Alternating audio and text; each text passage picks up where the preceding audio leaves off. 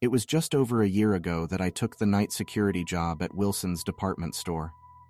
I had been out of work for several months at that point. Ever since the factory where I had worked for 15 years abruptly closed down and moved operations overseas, I had struggled to find steady employment. At first, I lived off my meager severance package, but that ran out quickly. I took odd jobs here and there, stocking shelves at the grocery store, mowing lawns, doing minor home repairs for elderly folks in the neighborhood, but nothing stuck or provided enough income to cover all my bills. By the time I saw the Help Wanted ad for a night security guard posted in the window of Wilson's, I was desperate. My electricity was about to be shut off, and I was two months behind on rent. The prospect of being homeless hung over me. I had passed Wilson's department store countless times in my life, but had never shopped there. It was one of those old, dusty places that had somehow held on when flashier chains and malls took over the retail scene. I knew it couldn't be doing great business anymore, just by peering in the windows at the lackluster displays and utter absence of customers most days. Still, landing a full time job with regular hours and a steady paycheck, even at a failing store, sounded pretty good at this point. I guessed that Wilson's was likely understaffed and having trouble filling positions, especially for off hour shifts. Why else resort to a help wanted sign that looked like it had been printed on a dot matrix printer in 1985? The posted schedule was perfect for me. I had always been a night owl anyway. Working 7 p.m. to 7 a.m. would allow me to get some needed sleep during the day when my noisy neighbors were at work. And I certainly didn't have any hot social life to hamper by taking evening shifts. That Saturday, I built up my courage and walked into Wilson's for the first time in my life, making a beeline for the front office. I inquired about the security guard job, trying to sound more confident than I felt. The bored looking manager named Bill glanced me up and down as if shocked that anyone had actually responded to the help wanted posting. After a few perfunctory questions, Bill offered me the job. The pay was minimum wage with no benefits, but I wasn't in a position to negotiate. I gratefully accepted the position, filling out paperwork on the spot. Bill explained my duties, basically locking up, turning out lights, and keeping an eye out for burglars or vandals after closing time. Seemed simple enough. This would hold me over while I continued to look for more gainful employment. Bill told me to come back on Monday at 7 p.m. to start my first shift. As I stepped outside and began the walk home, I felt an immense sense of relief. I had bought myself some time and had narrowly escaped homelessness. Maybe this could even be the turnaround I needed to get my life back on track. My optimism soared for the first time in months. If only I had known that my first night on the job would be a terrifying experience that still haunts my dreams. On Monday, I arrived at 6:45 p.m., 15 minutes early for my 7 o'clock shift. The store had just closed for the day, and the last few customers were trickling out into the darkening parking lot. I went in through the employee's entrance at the back of the building. The aging linoleum squeaked under my shoes as I made my way past the break room and through a dingy stockroom area.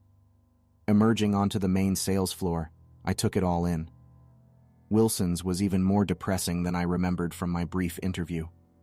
The store couldn't have seen a remodel since the 1970s, with its faded carpet, drab decor, and general air of neglect. Following the instructions I'd been given, I made my way up to the security desk next to the front entrance. It was a small office area crammed into a nook beside the main doors, containing a desk and chair, a filing cabinet, a small TV monitor showing grainy security camera feeds, and a rack of keys. I settled into the squeaky desk chair and familiarized myself with the control panel for the alarm system I'd be responsible for arming and disarming each day. There was also a heavy flashlight a set of two way radios, and the master keyring full of keys to unlock all the display cases. As I was taking stock of everything, I noticed a folded piece of paper tucked under the front corner of the desk. Curious, I pulled it out. It was a printed list of about a dozen numbered rules. I chuckled and rolled my eyes as I read the strange list. Always lock the mannequins in their display cases after closing. Check that all doors are locked before the shift begins. Do not leave your post until the morning manager arrives at 7 a.m. Make hourly patrols of the sales floor and stock rooms. If you see any suspicious activity, call 911 immediately. If the power goes out, use the backup generator behind the store. Monitor the security cameras closely. Never make eye contact with a mannequin after midnight. All employees must be out of the building by 8 p.m. sharp. If you hear knocking or tapping from the mannequin cases, ignore it. Do not bring food, drink, or mobile devices to the security desk. Report any abnormal events directly to Bill in the morning. I had to laugh at the ridiculous rules about the mannequins. It was obviously a prank list left behind to spook any new security guards. I made a mental note to ask Bill about it in the morning to give him a hard time. Crumpling up the paper and tossing it into the wastebasket, I settled in to watch the monitors as my first overnight shift began. At 7 p.m. on the dot, I started my rounds, beginning with a walkthrough of the entire building to make sure I was alone and that all non emergency lights were off and doors locked. I moved methodically from one department to the next, verifying I was the only living being left on the premises. My rubber soled shoes squeaked loudly on the scuffed tile floors as I patrolled past endless product displays. It was actually kind of eerie being in the massive store all alone at night, and I was glad for the occasional buzz of the fluorescent lights to break the silence. By the time I completed the full circuit of the first and second floors and returned to the security desk, it was approaching 9 p.m. According to the rules, all other employees were supposed to be out by 8 p.m. I checked the monitors again to confirm the store was empty, except for me. On the screens, everything looked still and shadowy. The only movement came from a flickering overhead light on the junior section on camera 4. Settling back into the chair, I picked up a magazine someone had left behind and thumbed through it idly. Aside from making the hourly patrols required by the rules, there wasn't much for me to do during these long overnight shifts. I didn't mind having time alone with my thoughts, though. This job certainly beat trying to sleep through my neighbor's loud music and barking dogs like I did during the day. A little before 10 p.m., I started my second round of patrols, retracing my earlier route. The store felt even more silent and creepy this time around. As I passed the men's department, the eyeless gazes of the stiff mannequins seemed to follow me. Of course, I knew it was just my overactive imagination, fueled by that silly prank list of rules. One of them had mentioned not making eye contact with mannequins after midnight. I scoffed aloud, the sound echoing in the still aisles. Winding my way through ladies' wear, I checked that all the standing mannequins were locked securely in their display cases. That was another of the bizarre rules from the list. As far as I could tell, all the motionless plastic figures were accounted for in their glass enclosed compartments. The shadows made their still forms seem almost eerie, but I shrugged it off and continued my patrol. By the time I finished the full hour-long circuit, my watch read 11:15 p.m. I grabbed a snack from the vending machine and headed back to the security desk. Settling into the chair, I propped my feet up and focused on the monitors again. The empty sales floor remained quiet and still. All in all, it had been an uneventful first shift so far. I made a few more rounds over the next couple of hours, breaking up the monotony by chatting with the board operator whenever I called in my status as required. By the time I finished my 11 p.m. patrols, I was starting to feel drowsy I'd have to limit myself to one more round before grabbing a nap. Just two and a half hours until the morning manager arrived, and I could finally head home to get some real sleep. Starting the last patrol, I decided to reverse my route and work from the back up towards the front entrance. The store felt chilly and even more lifeless this late at night. As I circled past cosmetics, I thought I saw slight motion in my peripheral vision. I quickly turned, but it was just a tall mannequin near the perfume counter. Laughing at myself, I intentionally avoided making eye contact with its blank face, recalling another of those silly rules. I moved quicker through the rest of the ladies' wear, ready to be back at my desk. As the elevators came into view, signaling I was nearing the home stretch, I froze in my tracks. The hair on my arms stood up as my eyes registered what I was seeing. One of the mannequins that was supposed to be locked in its case was standing there silently next to the escalators, its glossy head turned towards me. I was halfway through my patrols as I wound my way through the empty aisles and departments. My footsteps echoed through the cavernous space. The only other sounds were the occasional buzzing of fluorescent lights and the hum of the HVAC vents as they pumped warm air into the chilly building. Making my way through ladies' wear, I scanned the aisles mechanically, shining my flashlight into the forest of clothing racks and displays. The beam illuminated glossy store mannequins scattered around the department, locked away in their glass cases just as the rules had instructed. Their frozen, featureless faces were skewed into exaggerated smiles as they modeled the latest fashions. As I swept the flashlight beam over a cluster of mannequins in cocktail dresses, a flicker of movement suddenly caught my eye. I quickly pivoted on my heel, snapping the flashlight back towards the spot. Who's there? I called sharply, my voice reverberating down the aisle. Silence answered. Stepping cautiously forward, I held my breath and listened. Only the ambient hum of the store filled the air. My flashlight revealed nothing amiss in the ladies' wear section. Shaking my head, I figured it must have been a trick of the light. My bored mind was just playing games on me in the empty store. Chuckling at my skittish overreaction, I turned forward again to continue my patrol. I froze in surprise as my flashlight illuminated a mannequin standing directly behind me, just inches away, where no mannequin had been before. I stumbled back in astonishment, shock racing through my system at the sight of the humanoid figure looming in the shadows right where I had just been. Jesus, I gasped, pressing a hand over my thudding heart.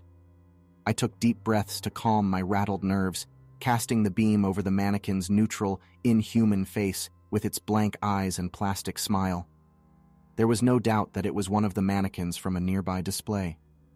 It was wearing an elegant black evening gown, and its stiff arms were fixed in an unnatural pose. But how had it gotten there? I could have sworn the space behind me was empty just seconds ago. Unease crept up my spine as I stared at the still figure.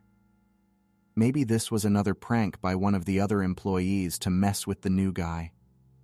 But who would have taken the time to unlock a mannequin from its case and move it here silently, just to give me a scare? No one else was supposed to be in the store this late. I shook off the paranoid thoughts. I must have just overlooked the mannequin standing there in the shadows.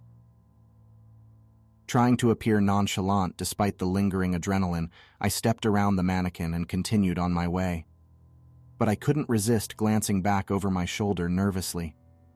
The mannequin hadn't moved, its pale shape now receding into the darkness down the aisle.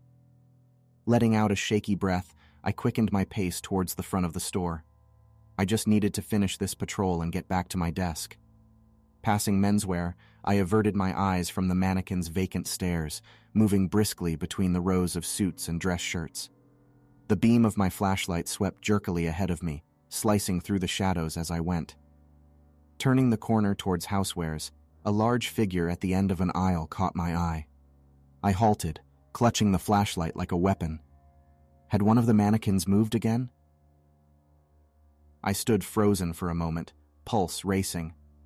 Nothing stirred. It was just another mannequin where it was supposed to be, stationed in the mock living room display. Feeling foolish, I let out a tense laugh and continued on once more. My ramped up imagination was playing tricks on me now. The long overnight hours were making me jumpy. In the darkened electronics section, I could have sworn I saw shifting shapes moving between aisles as I passed. But when I doubled back to check, there was nothing there. Just lifeless televisions and appliances, and the watching faces of plastic store mannequins eerily illuminated in the glow of display screens. By the time I hustled back to the fluorescent lit safety of the security desk, I was on edge. I couldn't seem to shake the feeling of unseen eyes tracking me from the shadows as I made my rounds.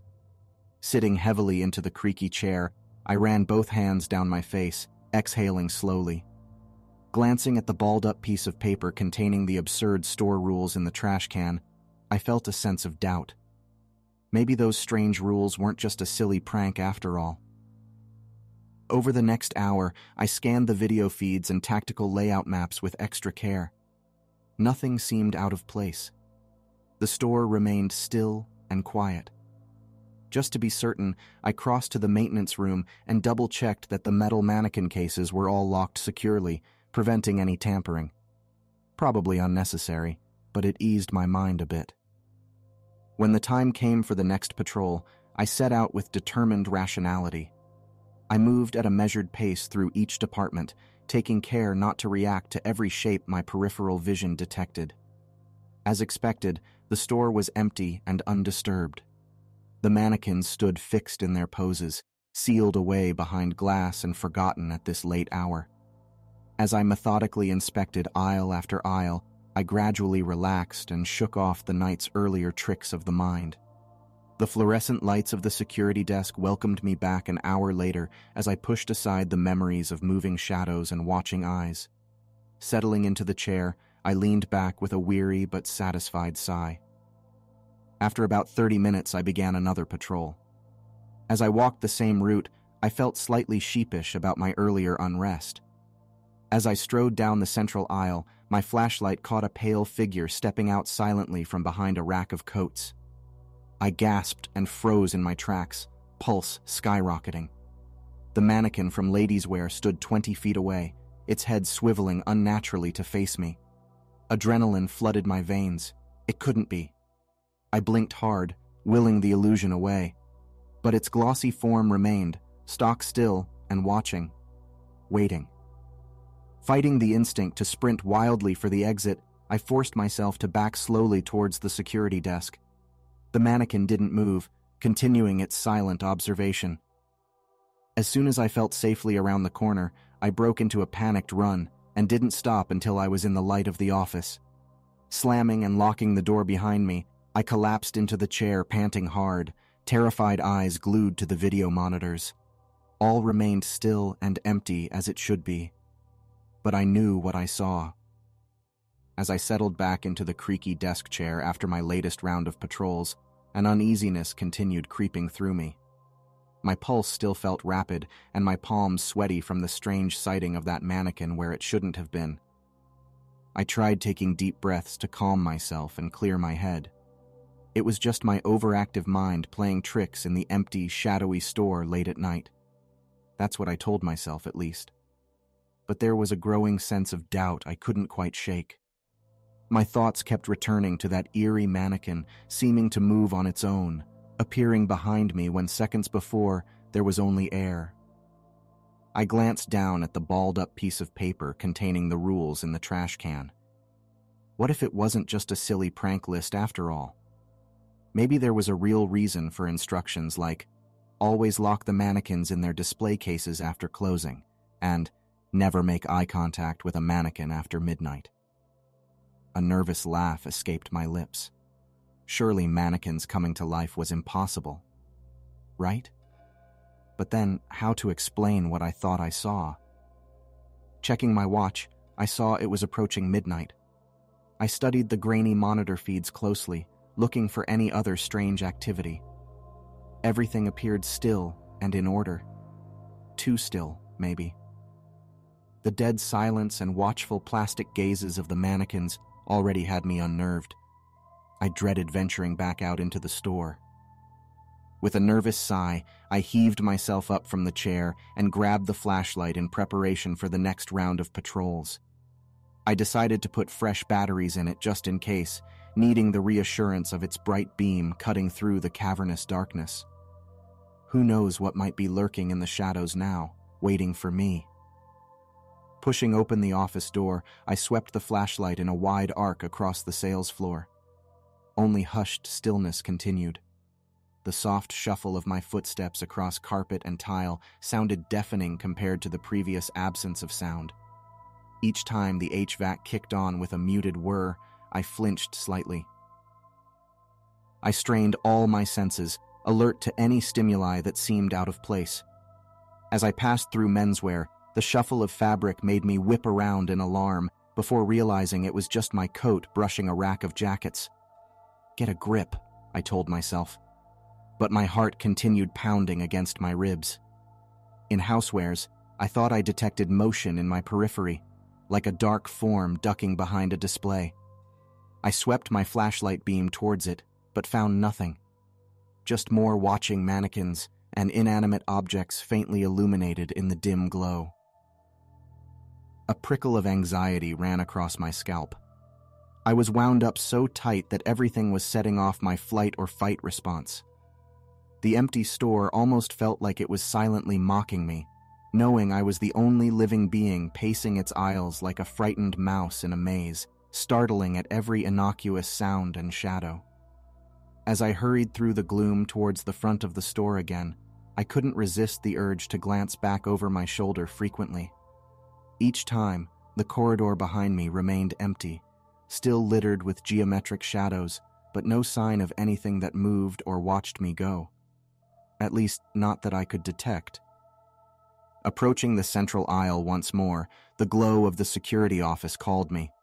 But to reach it, I had to pass within a few yards of the towering glass cases housing the female mannequins. Heart lodged in my throat, I crept closer, hyper aware of them just on the other side of the glass. I kept my gaze fixed straight ahead as I rushed past the cases, not daring to even glimpse at the mannequins imprisoned within. A pristine hand or pale forehead entered my peripheral vision at one point as I passed a glossy figure posed elegantly in evening wear behind the glass. Its graceful arm was lifted, one manicured finger seeming to point directly at me accusingly. A powerful instinct warned me not to meet its vacant stare. One of the strange rules had mentioned never making eye contact after midnight. Whether it was midnight yet or not, I heeded that internal voice screaming at me not to look. Almost past the cluster of cases, I was so focused on not catching the gaze of any mannequins that the scuff of a shoe on the tile behind me made me yelp in alarm. Spinning, I expected to find one of the mannequins standing there, free from its case. But there was nothing, just the empty aisle which I'd already cleared. Letting out a shaky breath, I shook my head angrily. I was letting this empty building and its inanimate occupants get the better of me. I turned forward again and continued on towards the security desk, just paces away now, the unseeing stares of the mannequins prickling the back of my neck. Safely back in the office with the door firmly shut behind me, I collapsed into the chair and raked my hands through my hair. This was ridiculous. I was jumping at every creak and shadow thanks to an overactive imagination. There had to be some reasonable explanation for that one mannequin seeming out of place earlier. And I needed to get my paranoid mind under control before it spun any more wild what if scenarios about lurking living mannequins. Glancing at my watch, I saw it was now 12:05 a.m. A small, uneasy chuckle escaped me. Well, I had survived past midnight at least. Settling back into the chair with a bottle of water, I forced myself to take slow, calming sips. Just ride out the remaining hours here uneventfully, head home to a soft bed, and return tomorrow to politely ask Bill for an explanation about the odd rules as a laugh. I told myself. All would be well. Leaning forward, I scrutinized the video monitor feeds closely once more. Everything continued still and orderly in the vacant departments. Around 1 a.m., I geared up mentally for another required round through the store. Time to put my irrational fears to rest once and for all. Venturing out cautiously, flashlight in one slightly trembling hand, I first made my way upstairs to the second level, which housed the children's, furniture, and bedding sections. Up here, the signs of aged neglect were even more apparent, with scuffed floors and peeling wallpaper in places. Dust layered some of the furnishings and clothing racks. Clearly, this floor didn't get much traffic even when the store was open. I swept my flashlight systematically across the floor as I patrolled, searching for anything out of place. The mannequins stood around the floor, but all seemed to be where they should be. No lurking figures waiting to frighten me this time. Nevertheless, I finished my patrol of the upper level practically at a jog, skin crawling with the sense of unseen eyes tracking me until I descended the stairs again. Back on the main floor, I just had to get through ladies' wear and the front end one more time, then I could retreat to my desk again. I moved through cosmetics and jewelry, senses straining for the slightest stimulus. But only the echoes of my own soft footsteps answered. Entering ladies' wear once more, I stopped briefly as the beam of my flashlight illuminated the tall glass cases and their still, glossy occupants. I tightened my grip on the flashlight, widened my stride, and carried on quickly without allowing myself to fixate on any of the mannequins. Just look straight ahead and keep moving, I told myself. A loud snap behind me made me nearly leap out of my shoes and spin around in fright, my heart convinced a mannequin was now pursuing me but there was only empty space. After a few confused moments, I realized the sound must have come from my own shoe tread, stepping on a plastic anti theft tag discarded on the tile floor. Letting out a tense breath, I pressed on towards the final stretch. As I neared the front section, the oversized wall clock came into view, its minute hand seeming to click forward loudly marking each endless second. It was 12:45 a.m.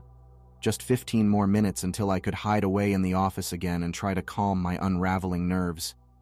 15 minutes felt like an eternity when each minute out on the floor made me certain something was about to leap from the shadows. The occasional bursts of static from my handheld radio nearly made me jump out of my skin multiple times. Each minor sound ratcheted up my growing suspicion that strange events were happening in this quiet building tonight.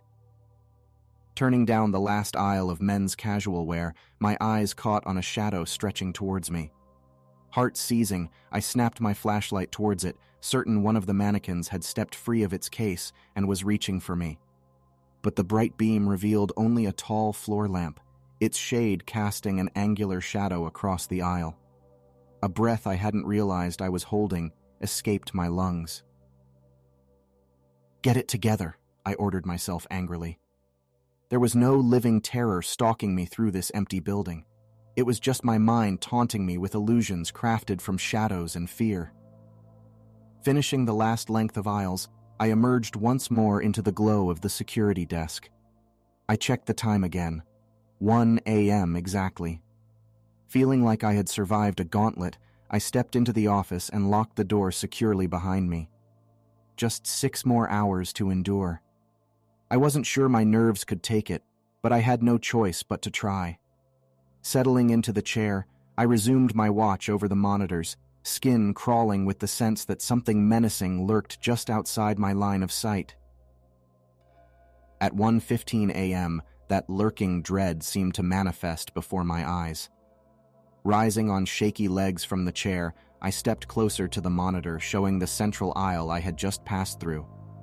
There, near the towering glass cases, caught in the edge of the camera frame, was a pale shape I hadn't noticed before. The overhead angle only showed its arm, shoulder, and side of its glossy wigged head. But there was no mistaking the mannequin, standing outside of its case, its blank face seeming to stare directly into the camera, right where I had walked just minutes ago. I stumbled back from the monitor, one hand over my mouth to stifle a frightened gasp. It couldn't be possible. But the proof stared back at me from the screen. This was no trick of the light or figment of my imagination.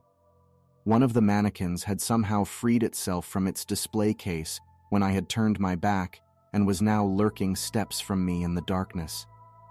I sank to the floor as my trembling legs gave out, watching the screen in horror as the truth I had tried to deny sank in fully. The rules had been no prank after all. I had no idea of their intent, but the rules had warned clearly never to make eye contact with a mannequin after midnight. I recalled the faceless gazes tracking me from the darkness during my patrols. A cold spike of dread lanced through my chest. Whatever their purpose, it could not be good.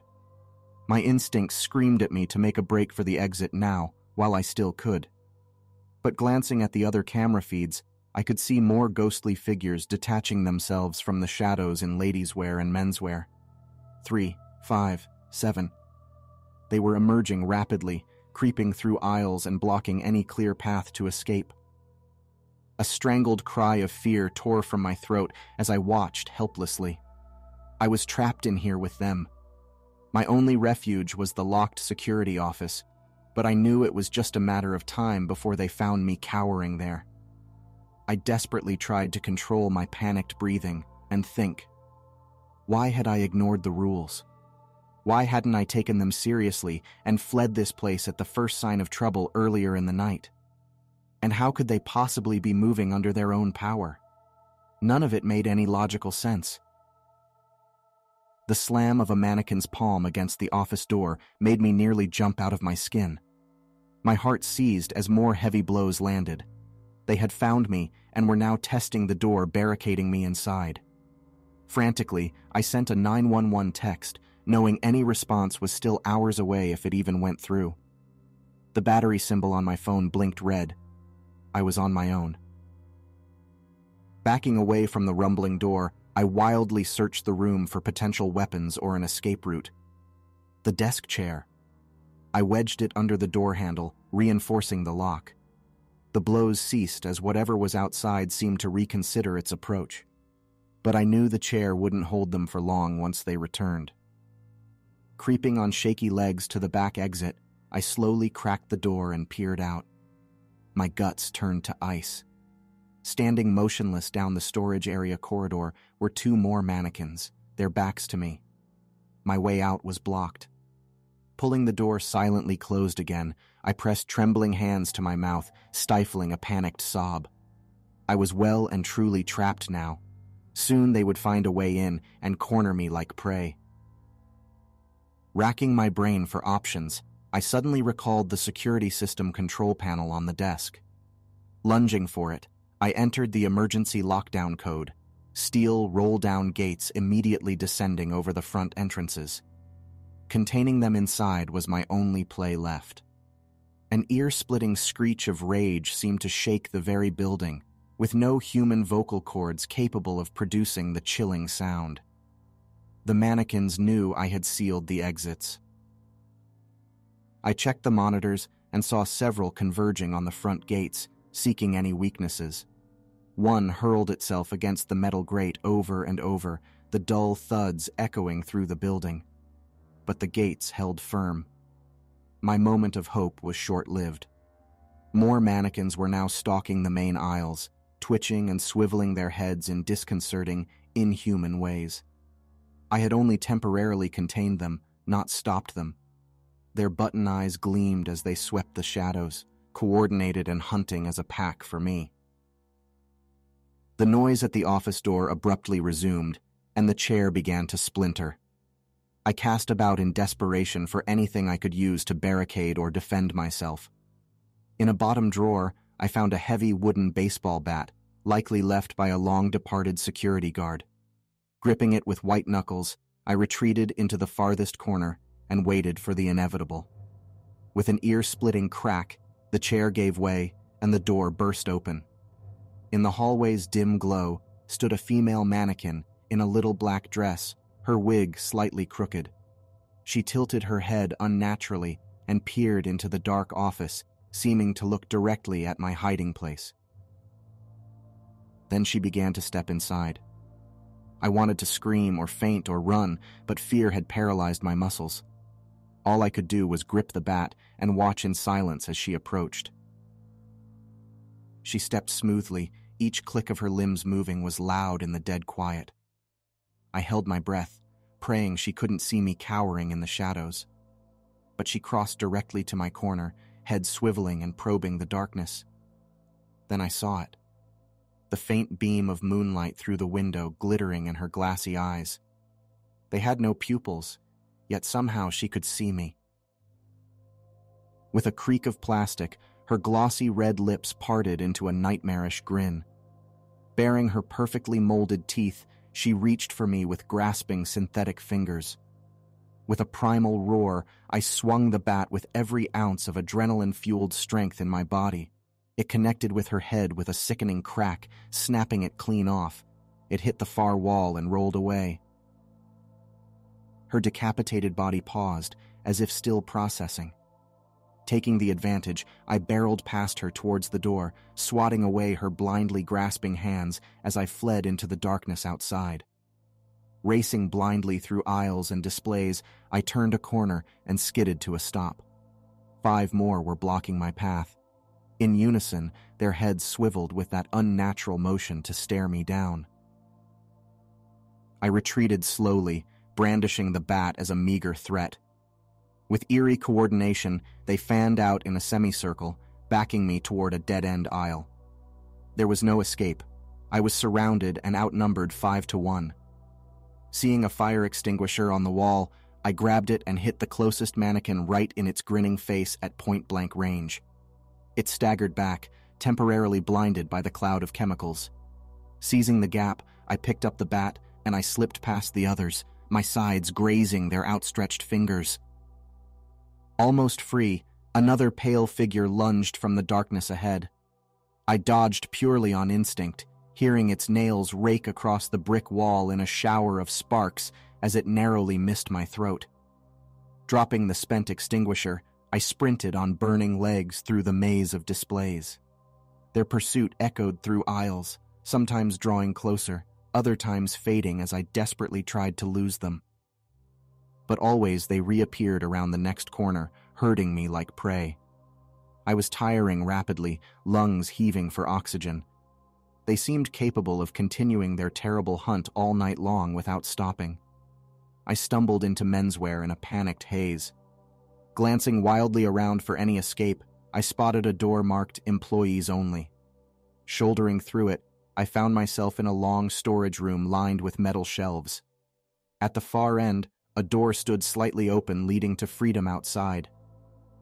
With a sob of relief, I raced for it, nearly there. But at the last instant, a mannequin flung itself from the shadows and slammed its body against the exit. I recoiled backward, fending it off with weakening swings of the bat still clenched in my hands. Its head distorted where I had battered it, features melted and elongated into a macabre mask. It kept pressing forward, backing me down the room.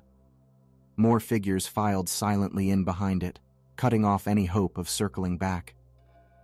I continued retreating until my shoulders hit the cold metal shelves at the dead end. I was well and truly cornered now. The rules. My foggy mind suddenly fixed on them. The rules had warned me. Why hadn't I fled at the first sign of trouble? My rational mind had refused to accept the surreal danger spelled out so clearly until it was too late. And now I would pay the ultimate price for not believing. As the mannequins closed in around me like pale ghouls, I sank to my knees in surrender. I had no fight left, Steeling myself for the inevitable agony, I closed my eyes and prayed for the end to come quickly. But then, crouched in the dead end storage room, I felt a spark of defiance pierce through the fear and despair. I wasn't going down without a fight. Gripping the bat tightly in slick palms, I rose unsteadily to my feet. The crowded mannequins seemed to react with surprise at my sudden movement. Seizing the split second advantage, I charged forward with a hoarse battle cry, swinging the bat wildly. I smashed the head of the nearest mannequin straight off its shoulders in a spray of shards. Its body wobbled for a moment before toppling over. Its fellow creatures recoiled slightly at the violence, creating a slim gap to escape.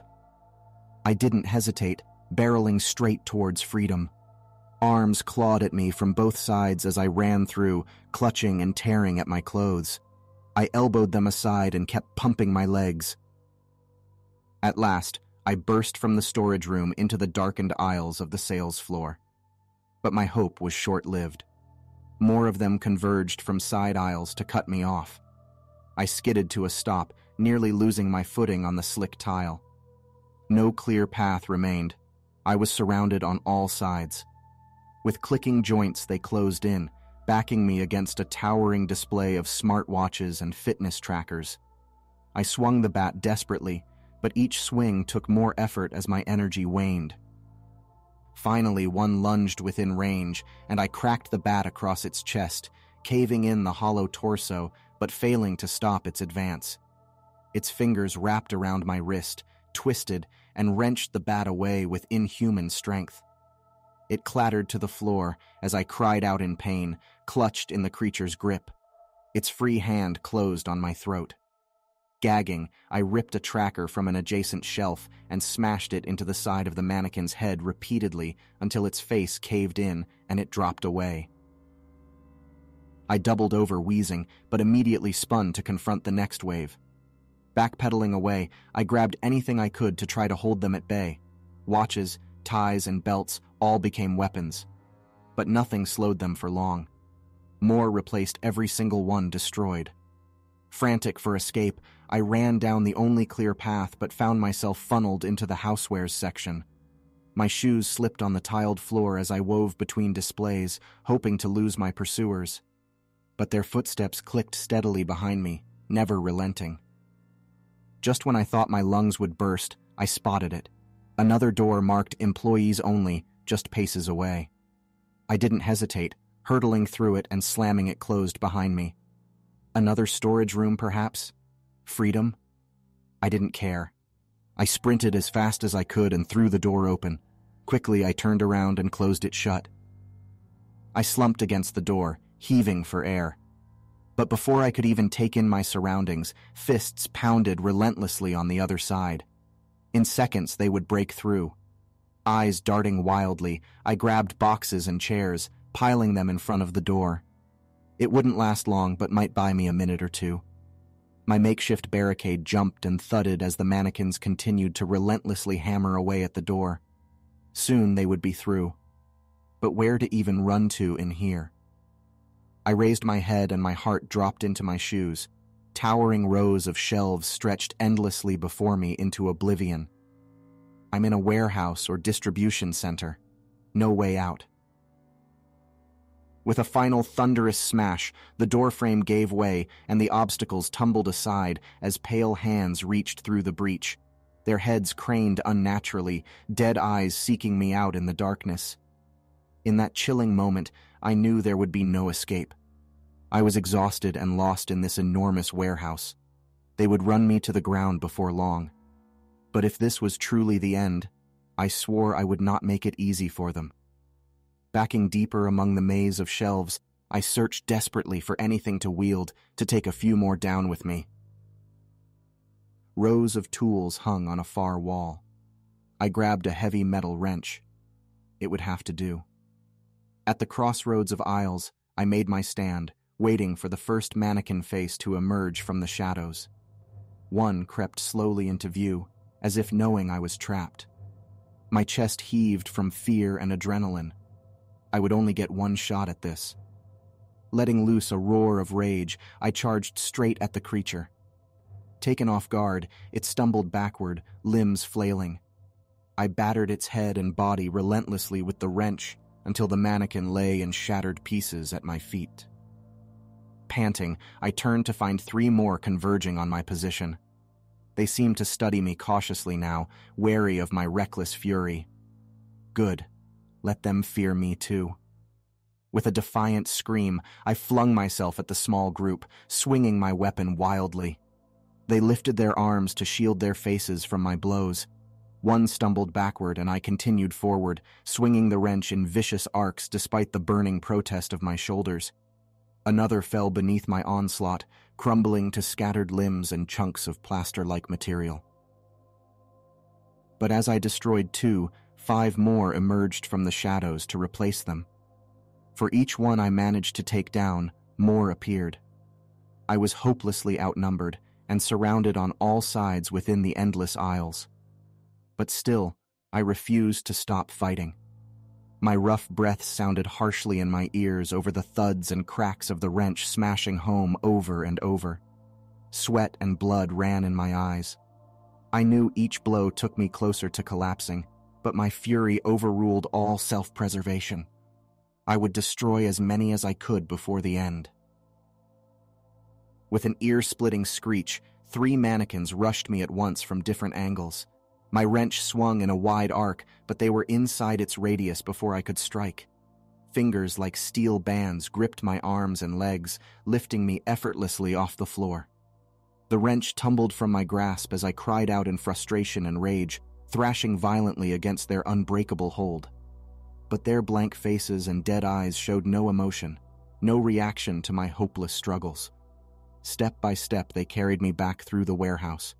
I shouted obscenities, screamed myself hoarse, and pounded at their limbs. All useless. Finally, they reached a dark corner and flung me roughly to the cold concrete floor. I tried to rise, but my traitorous legs buckled, muscles jelly after being pushed to their limits. Choking in the air, I watched as they formed a tight ring around me. So this was it. The end. All my raging defiance was for nothing. I had never stood a chance against their numbers. They would never stop coming for me. Nothing could stop them or hold them back. As I knelt there shivering and gasping on the icy floor, my manic desperation burned away, leaving only bone deep exhaustion and defeat. What did they want from me? In the end, it didn't really matter, I supposed. My struggles were over. Then, one mannequin stepped forward from the ring. Larger than the others, it had likely been on display in the front windows, enticing shoppers inside. Now stained dark in places with my blood, its exaggerated smile almost held a taunting edge. Slowly, it extended one rigid arm towards me, fingers opened wide. A whimper escaped my throat as I cowered back. This was it then. This featureless ghoul would be my final merciless executioner. Unable to even crawl away on tired limbs, I closed my eyes as the mannequin's hand moved closer. Suddenly, an ear splitting beeping rang out, echoing deafeningly in the cavernous space. Startled, my eyes flew open again. The mannequins in the surrounding ring jerked and twisted in an almost human like reaction of surprise. Even my executioner hesitated, its outstretched hand frozen inches from my throat. It took my overwhelmed mind a few seconds to recognize the sound. The building's fire alarm system was blaring on every level. Had a stray spark from my fight accidentally triggered it? Or was help somehow on the way? It hardly mattered. This was my last desperate chance. With a raspy scream, I launched myself forward, knocking the lead mannequin off balance. I didn't dare pause to look back at its recovering companions. Mustering every last drop of strength, I ran like hell through the only gap toward the warehouse exit, glowing red in the distance. The alarms continued hammering my ears as I sprinted for my life down seemingly endless rows of shelves. I expected to feel hands seizing me at any second and dragging me back into the dark nightmare. But somehow I broke free from their clutches into the hallway beyond. Blindly, I ran towards the outer doors now in sight. With a final burst, I flung myself through them into the night air, rolling down steps onto cool, dewy grass. Gasping desperate lungfuls, I staggered to my feet once more and limped to a wooded area across the loading zone. There, I pressed my aching body behind the thick trunk of an oak tree and held completely still, listening between shrieks of the alarm. No sounds of pursuit rose over the noise.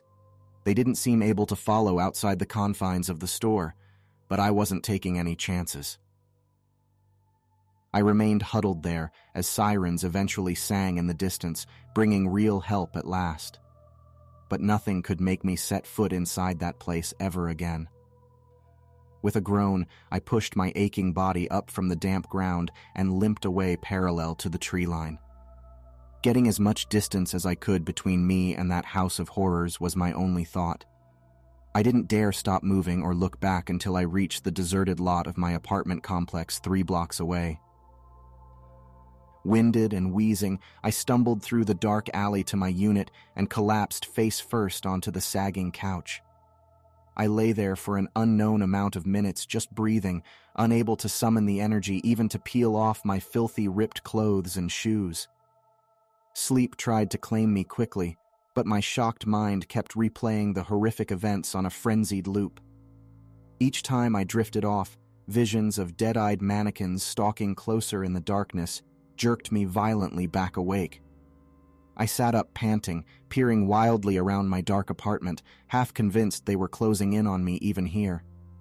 But of course, I was alone and safe, with only the distant wail of sirens outside to testify that the ordeal had been real.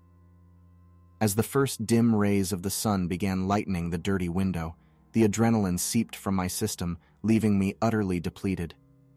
But my exhausted thoughts continued churning over the nightmare, trying to make sense of it all.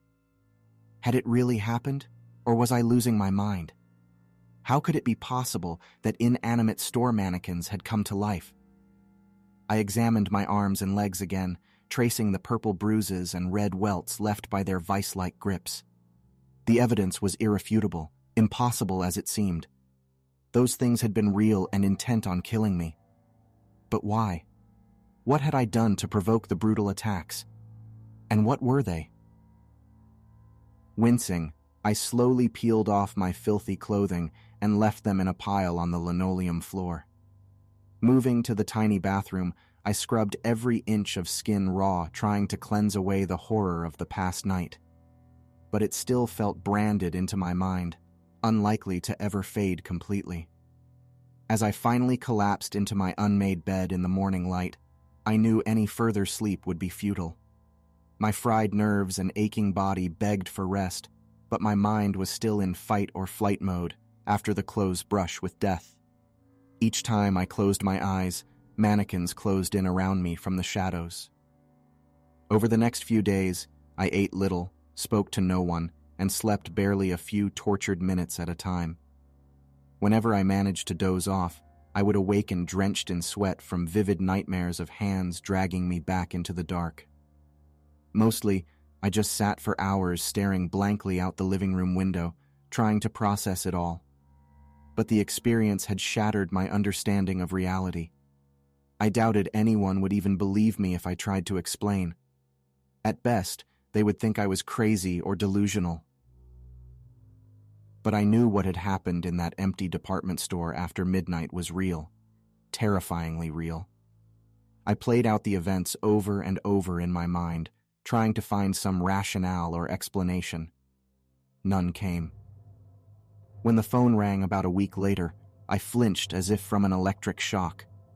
I hadn't left the apartment or spoken to anyone after calling the store that first morning to quit on the spot. Now I feared it was Wilson's management demanding I explain my abrupt abandonment of my post. But instead, a friendly female voice asked if I was available for immediate work. A 24 hour diner needed an overnight line cook after a recent unexpected departure. Sounded perfect for a night owl like me, she said. The offer was tempting. The busy work might help distract my restless mind and pay a few bills. But could I risk another night shift after what I had endured? My hand trembled as I raised it to decline firmly, but politely. I realized at that moment that I would never again be able to take an overnight job. As desperately as I needed income, I couldn't chance finding myself trapped in a dark building after midnight, dreading what might lurk in the shadows.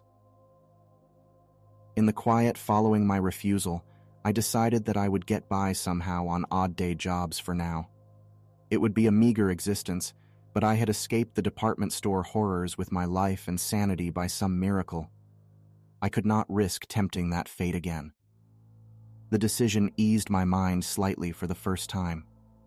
But I knew as long as I lived, part of me would remain trapped in that night, running from the haunting memory I could never explain. The true motives and origins of the murderous mannequins would remain forever unknown to me. All I could do was try to somehow move past the trauma and not let it define the remainder of my days. After weeks of struggle, I began to find some peace again I took up jogging each morning before sunrise, the only time I could bear being outside in the dark now. The rest of my days I split between a handful of part time jobs and keeping busy with projects in my apartment. It was a meager living, but it kept my waking hours full and my mind occupied. The nightmares gradually faded in frequency, replaced by an edgy hypervigilance whenever I found myself in dim spaces.